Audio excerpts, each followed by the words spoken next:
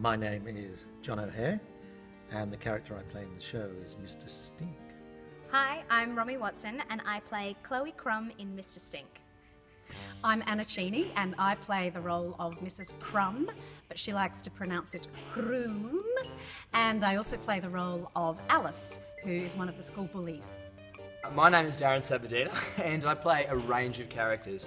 So my first character is Parky, followed by Mr. Crumb, which is the dad, and then I play Raj, the shopkeeper, and finally the Prime Minister. My name is Amanda Lang, and I play Annabelle Crumb, Chloe's little sister, and I play the school bully Melissa Anderson, and I also play a reporter Kate Glastonbury.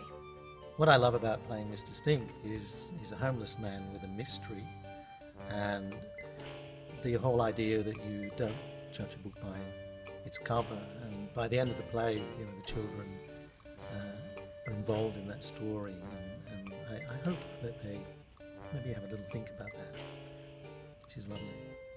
My favourite part about playing little Chloe Crumb is that at the start of the show, she's a shy little poor bullied girl, and by the end of the show, she is pretty confident, pretty strong minded, and we get to see all of the stuff in the middle.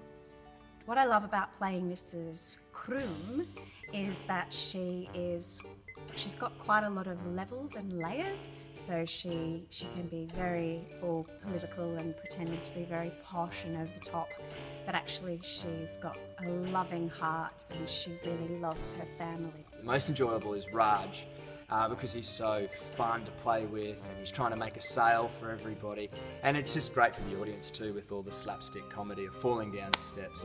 Kate Glastonbury, the reporter, my favourite part about playing Kate is getting to wear that amazing blonde power bob with a blazer um, and hosting question time. It's, it's like a dream come true, really.